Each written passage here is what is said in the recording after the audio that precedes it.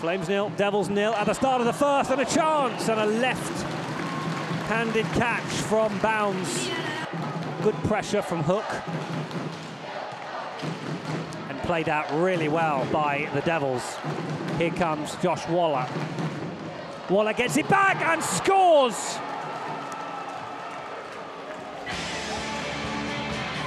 That was a heck of a move from the Devils. They played it out beautifully in their own defensive zone.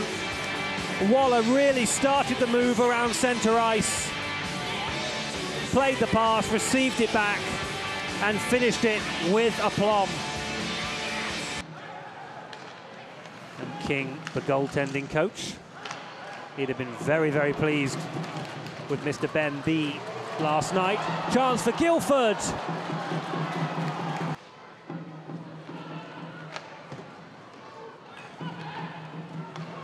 Ripplinger has Lemos, has Locke. Locke shoots! That's an absolutely brilliant goal from the Flames. Really well worked between Ripplinger to Lemos to Locke. And Locke opened up his body and fired it across Bowns for the equaliser. And really important that the Flames have got themselves level again here. Yeah, it's an absolute zinger and a great assist by Lemos there.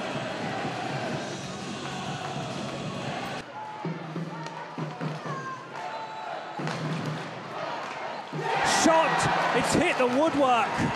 Cheers from the crowd, but I don't think that...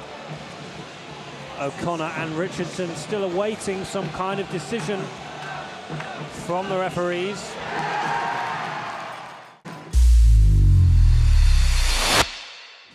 Lots of video reviews going on so far this season, Luke. This is actually the third Flames game in a row where a video review has taken place. Firstly, it was against the Storm in that midweek game on the Wednesday. That was a no-goal review for the Flames. And then last week, we saw one for the Belfast Giants here. That was also a no-goal.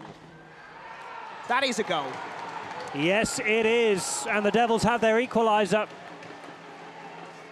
Definitely no video review needed for that one. It is two apiece here. And it's Crawford with it.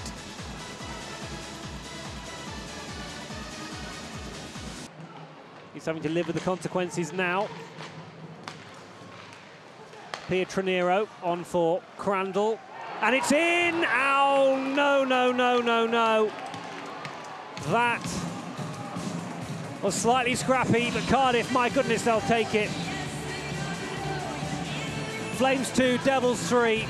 Let's take another look at this one. Pietranero set up Crandall, took a deflection, and it was an excellent finish in the end from 91. Josh Waller in for his second of the game. Water bottle flying up.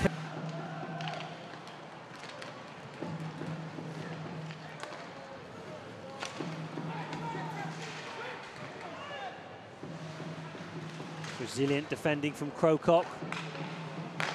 Come back in, and it's been turned in, and it's a fourth, and it's Brandt for the Cardiff Devils. It was a cheeky, deft finish at the back post. And there was nothing Berman could do about it.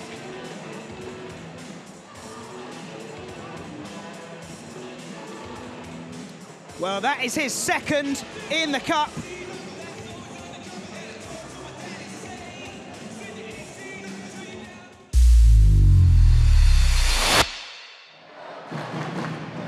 Slight upturn in the volume here as well from the home crowd.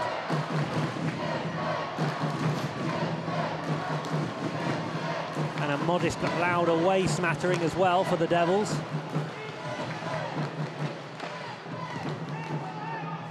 Mrs. Martin comes for Crawford for Cardiff.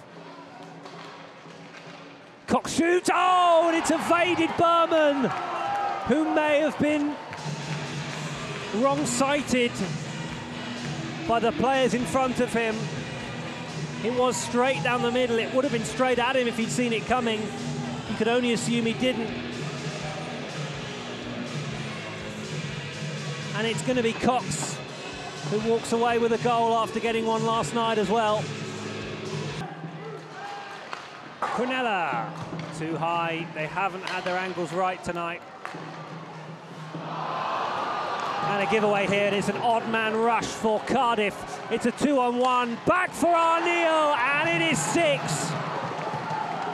Yeah, you saw that coming a mile off, didn't you? Another old-fashioned goal, that. Everyone in the crowd could pick that one out.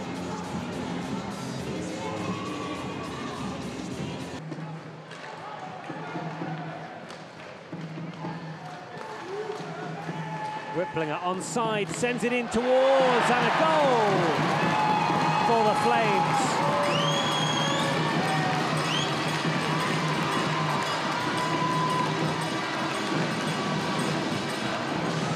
And it's Lewis Hook who has what may be a consolation for the Flames. It was nicely sent in by Ripplinger. It was a teasing area.